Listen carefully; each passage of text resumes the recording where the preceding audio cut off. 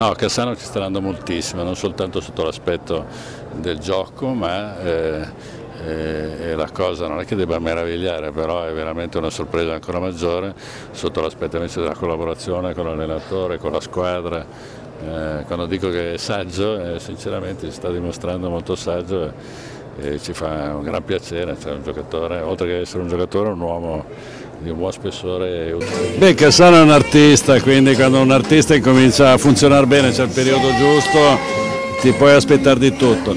E devo dire che mm, quello che ci fa più, più piacere è che non soltanto stia giocando bene, ma che proprio è, ci sembra felice, allegro, ben inserito, il che è molto utile non soltanto a se stesso ma a tutta la squadra. Insomma.